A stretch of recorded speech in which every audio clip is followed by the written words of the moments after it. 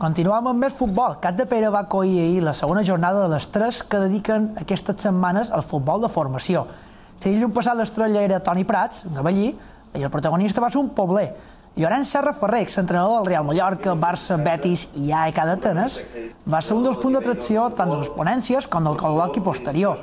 No va ser l'únic perquè també hi era el seu inseparable preparador físic, Pep Alomà, i també el jugador més jove en debutar primer amb el Mallorca, Pepe Galvez, a més del periodista Miquel Vidal i el preparador físic Gaspar Mesquida.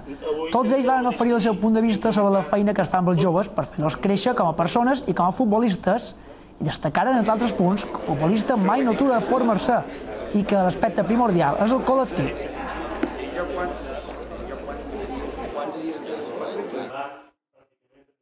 L'edat formativa no solament abarca eh, els primers anys, sinó tota la vida. Igual que a la vida humana sempre les persones tenim aquesta possibilitat d'aprendre, en el futbol també.